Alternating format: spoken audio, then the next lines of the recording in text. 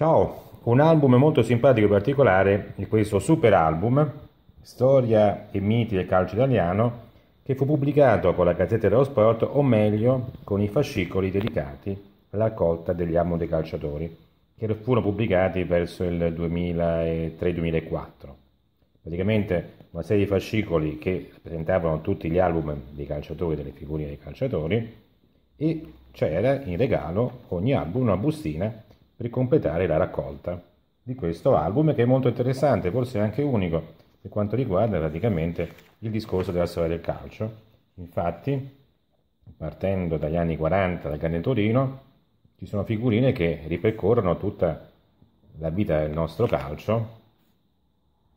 È molto bello e interessante perché si vedono i campioni dal Milan, l'Inter, la Fiorentina, e via discorrendo, al Cagliari, alla Juventus, alla vittoria del Torino nel 76, tutte le pagine importanti del nostro calcio, i mondiali del, dell'82, la Sampdoria, tutti i grandi avvenimenti con queste figurine che praticamente l'album si conclude poi con i mondiali del 2000,